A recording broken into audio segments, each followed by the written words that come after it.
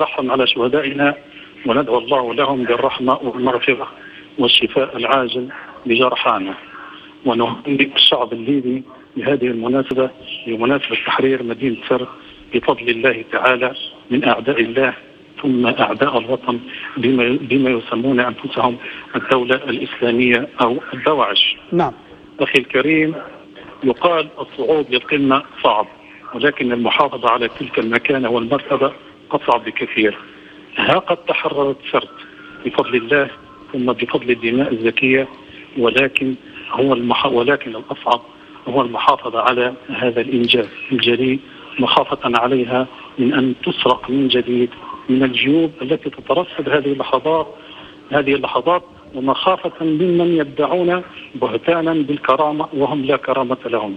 من أن يتسلقوا أو يستغلوا طيبة الثوار و, و وتهاون الدولة ويسرقوا ويتسلقوا على حساب الدماء الزكية التي دفعت.